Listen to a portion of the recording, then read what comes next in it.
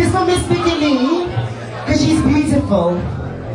As always, I told her to get drunk because she's more merry and she introduces us nicely. Okay, what we got? Yes, Anastacia. Okay, let's go.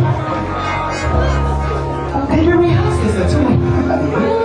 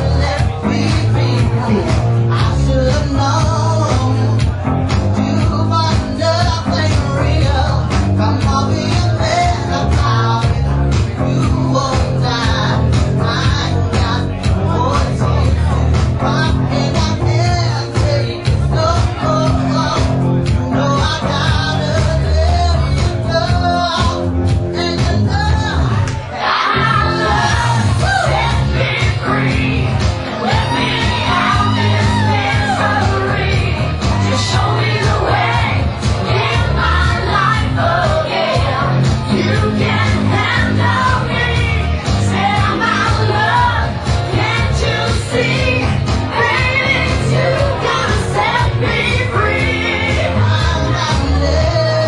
you enjoy your rest?